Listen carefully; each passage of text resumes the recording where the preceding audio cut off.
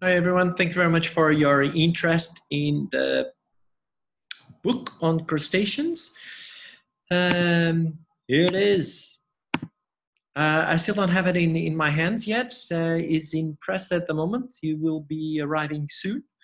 And the main point of this of this book was to help scientists uh, that work in the Southern Ocean with top predators uh, to identify crustaceans. And through our experience, um, we found that the, the information is scat scattered uh, all over the place, and it was very valuable um, to gather that information and update some of of, of, of the work that had been done uh, on crustaceans. But making this bridge between um, identifying the crustaceans in the diet of top predators in, in the Southern Ocean. Uh, it has been quite a task. It took uh, four to six years with numerous colleagues around the world. Many thanks to all of them. Um, and uh, the work has been led by myself and, and Yves Cherel from, from France. But everyone has been amazing and very helpful. And thank you to SCAR for publishing this book. This is a, a community effort for sure.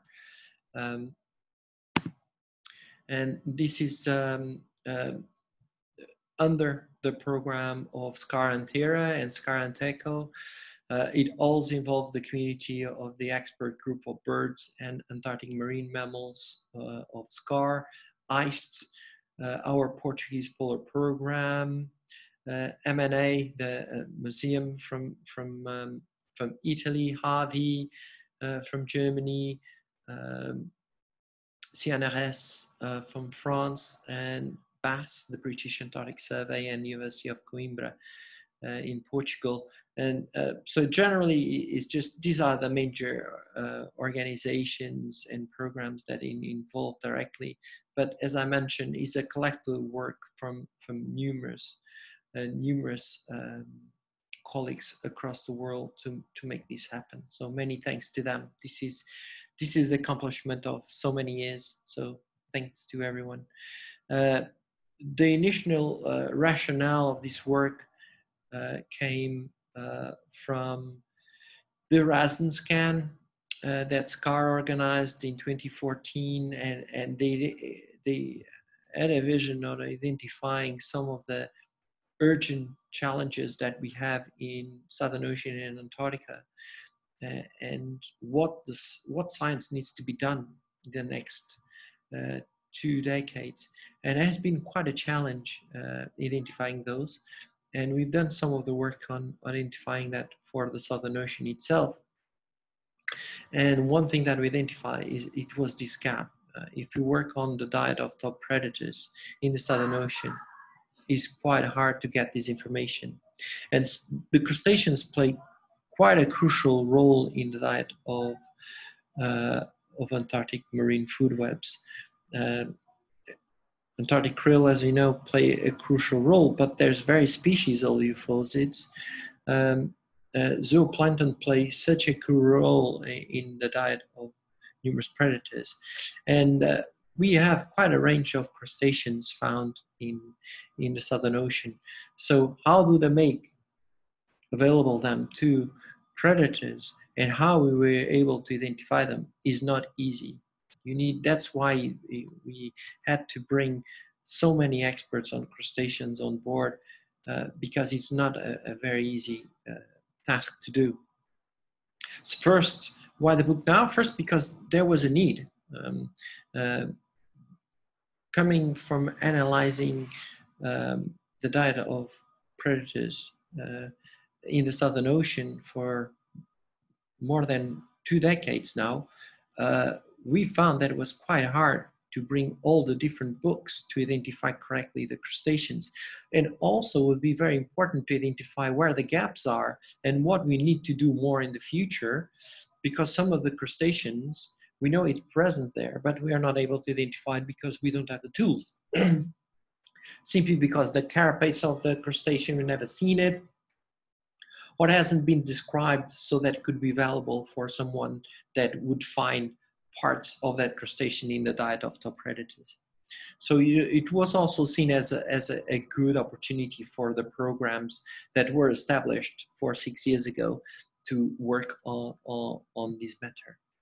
So we know they are relevant. We looked at more than 100 species of crustaceans, the most important ones in the diet of top predators. So we're talking about crustaceans for more than uh, 50 families uh, across the spectrum of crustaceans found in diet. So here's an example of a chick that got overwhelmed with too much Antarctic krill in their diet and actually uh, we analyzed that stomach contents uh, directly from them and we can identify um, the crustaceans even from from scats for example. And if we do from the carapace if we do use them and if they are in good shape we're able to measure them and allometric equations could convert uh, the size of the carapace to the original size of the animal and even their weight. So that information is very crucial. But um, one of the conclusions of the book is was that there's not many allometric equations uh, and we need more of those. And even the ones that there are, they are not uh, with a, a, huge amount of individuals to make good regressions. There's some exceptions, but the, uh, to the rule, but in general, uh, there's still a lot of work needs to be done on this.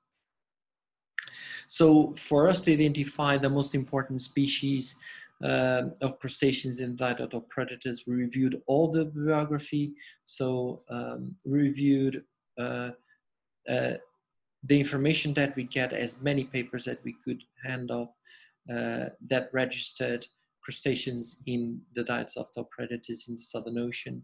So we described the presence um, uh, uh, in the diet of top predators, where these crustaceans are distributed, um, what type predators are they, so we really look into them. We also provide guidance how to identify the crustaceans, to measure them, uh, and try to identify them. So, uh, and that was very crucial. And as I mentioned already, we also provide allometric equations, the ones that are available already in the bibliography around, um, to, to convert some parts of the animals to uh, the original size and weight or mass uh, of the crustaceans themselves. Uh, but as I mentioned, still a lot of work uh, needs to be collected. I think we need to monitor these crustaceans, to look at their diets, and we need we need clearly uh, to look at the crustaceans and to their different parts and develop new allometric equations much better and, and also provide an update on how to identify the different parts of it too. And how we did that, so we provide guidance on uh, what type of measurements can you do so that if there are uh, allometric equations available, you can use them. So what measurements should you do if you if you find a crustacean? Because the crustacean in the diet of predators, as you can imagine, is not in many cases is not complete.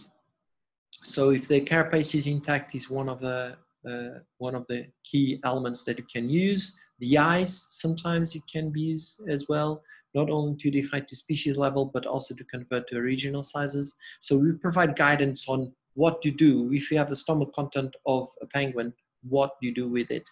And what type of indices should you do to quantify uh, those diets according to the method that you use could be scats if it's feces or stomach contents. So of course you have to adapt the method and we provide you what type of uh, measurements you should do and how you identify them. So we we actually provide you guidance if if you're just come across a certain animal, certain crustacean, you know where should you start from identify them. Uh, uh, one of the initial ones is the size. So we have from um, uh, copepods, for example, are extremely small, but if you go to isopods or decapods, they're extremely big. So even from their sheer size, you can already uh, have already an, uh, an idea from even from uh, the size and morphology, an idea what type of uh, family could this um, crustacean go to uh, or be belong to. And so we provide also photographs uh, and provide guidance of the sizes of those animals as much as we can. We had difficulties to spend quite considerable time looking for photographs and searching for, for, for uh, photographs around the community, but it was not easy. So we don't have photographs from all the species, but we have all the information. So as an example, for example, Notocrangon antarcticus. So we provide allometric equations that is a, they are available where they're distributed, where they occur, what are the top predators that mostly feed on them. So we provide all the references that we have that uh, this crustacean has been consumed from, from the predators and also looking from the user, so from the, the one that is uh, using the book. Uh, so if I have this crustacean in front of me, what should I look at? Because sometimes when the the species being described, they go to certain detail. Uh, it's very difficult unless you're uh, an expert on crustaceans. So that's why there are so many experts on crustaceans because it's so hard to identify them. So how can we provide the, the essential tools for someone that works with top predators that you will be able to identify this is the key feature that I should look at at Notocrangon antarcticus to identify to the species level if possible. And who could I mistake these species to others?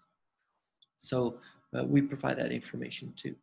And when it's possible, we have photographs and how they look like. But uh, I should point out that um, in case of doubt, do contact the experts that I cited in the book.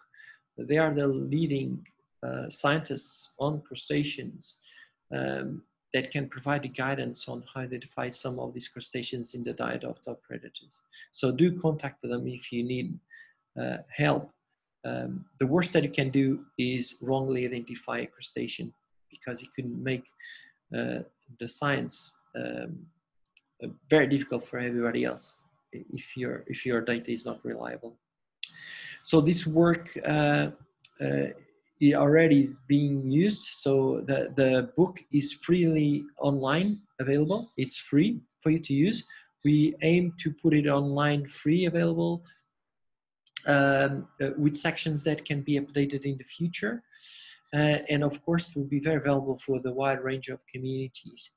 And should be all, also acknowledge the, the excellent work that in terms of monitoring have been done by, by CAMLR, for example. They asked us the book immediately. Uh, because it could be very useful for, for the observers that, that work on the fishing vessels. But this is not the breadth of, or, or, of groups that need our help. So it's free, it's for the community. Uh, it, it, it was definitely a, a pleasure uh, to work uh, with all these colleagues and, and the full list of acknowledgements is in the book. Finally, I will have it in my hand and uh, yeah, if you want a copy, do contact me by email. But um, yeah, thank you very much for watching. And uh, thank you very much for SCAR for sponsoring the book. Thank you. Ciao.